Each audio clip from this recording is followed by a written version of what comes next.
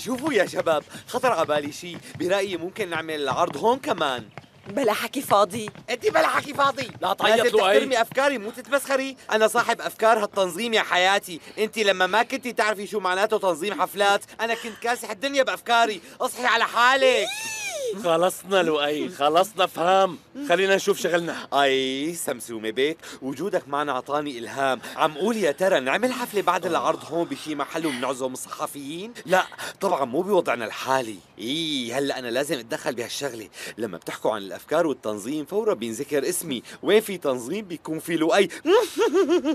لؤي ضيعت لي خلق بلا غلاظه آه يلا. بابا لا تعصب مالك فيه. خلص امشي هون مريض. هاد